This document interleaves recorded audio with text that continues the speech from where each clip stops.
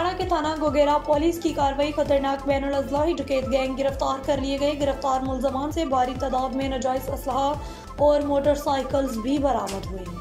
उकाड़ा सदर सर्कल के इलाकों में डकैती राहसारी मोटरसाइकिल छीनने जाने की भर्ती वारदातों का डीपीओ फैसल शहजाद ने नोटिस लेते हुए एसएचओ गोगेरा, हाफिज अतहर, रशीद को टॉस दे रखा था। गोगेरा पुलिस ने जदीद साइंसी बुनियादों पर कार्रवाई करते हुए खतरनाक डकैत गैंग के चार अरकान, मोहम्मद अली इब्रार इफ्तार और आसिफ को गिरफ़्तार कर लिया। इनके कब्जा से भारी मकदार में माल मसरूका, नकदी रकम, असलाह और मोटरसाइकिल और लूट मार और लूटमार का दीगर सामान बरामद किया गया। S H O Gogera, Hafiz Athar के मुताबिक ये खतरनाक डकैत गैंग ओकाड़ा पाकपतन पुलिस के लिए चैलेंज चैलेंज बना हुआ था, जो कि मुतद डकैती रागजनी की वारदातों में पुलिस को मतलूब था। खतरनाक डकैत गैंग से तहकीकत की जा रही है, जिनसे अहम इनकशाफात मतवक़ हैं। ओ फैसल शहजाद ने डकैत गैंग की गिरफ्तारी पर गोगेरा पुलिस को शाबाश देते हुए तारीफी असनाद का और नगद इनाम देने का ऐलान भी कर दिया।